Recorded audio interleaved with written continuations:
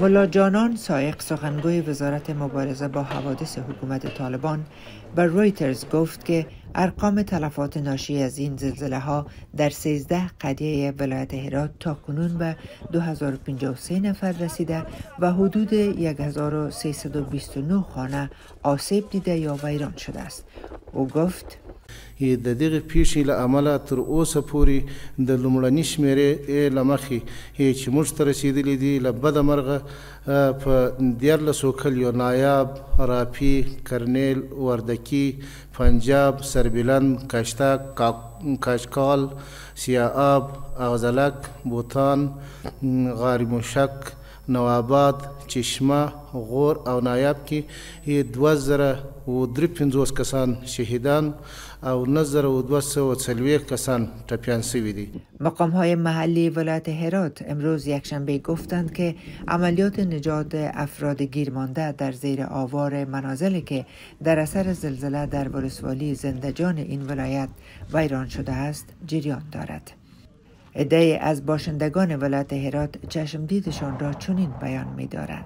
دیدم که تمام اتاق از این طرف به اون طرف شدن. زمانی که از اتاقم بیرون شدم پیش از اینکه چپلک گپای اینا رو بپوشم که به زمین افتیدم زمین افتیدم پاهای من مردو اوگار شده دیگه تلفن ما صفحه میده شد.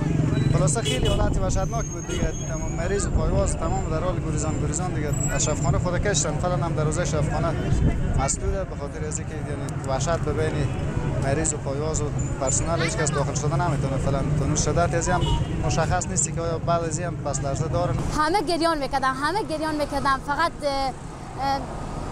صدا می‌کردم می‌گفتم الله اکبر خلاصه همگی ترسیده بودم. همگی حتی کاش با پای اینا نبود بیرو شده بودم. چادر نماز نداشتن بعضی اینا بعضی ها که هستن مریضار بیرو کردن. کلا هرچی مریض بود به بستر پرته بود همونا همه بیرو کرده بودم. ما داخل سیمف بودم استاد دای درس می‌داد با اسنایی که درس می‌داد یک دم دیدیم استاد خور بزد به ده کلا سیمفی ها آخرین نفر هستیم که بیرو شد می بودم. روز شنبه زلزله با شدت 6 اشاریه 3 به مقیاس ریکتر در هرات به وقوع پیوست که بر اساس گزارش ها دست کم 8 پس لرزه آن علاوه بر ولایت هرات در ولایات بادغیس، فرا و هلمند نیز احساس شده است. جمعیت هلال احمر افغانستان گفته است که بر علاوه فرستادن کارکنان و داوطلبان های سیار را نیز برای تداوی مجروحان به ولسوالی زندجان فرستاده و مراکز صحی را در ساحه ایجاد کرده است.